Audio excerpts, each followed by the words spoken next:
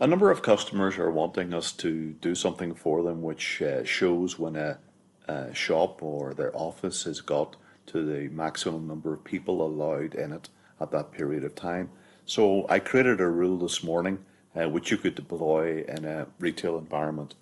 Um, they have a, a light beam on the door entry and a light beam on the door exit.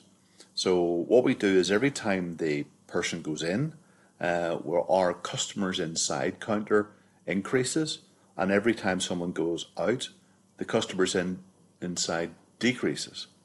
So we have a, a uh, condition then that when the number of users has incremented to eight, that we turn on a red light, and then when the number of users in decrements to seven, we turn off the red light.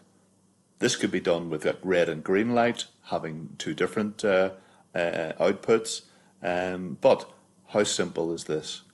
It's available today in Act Enterprise, nothing to really install except a input-output module down at the door along with a light beam, uh, easy way to control people in the building.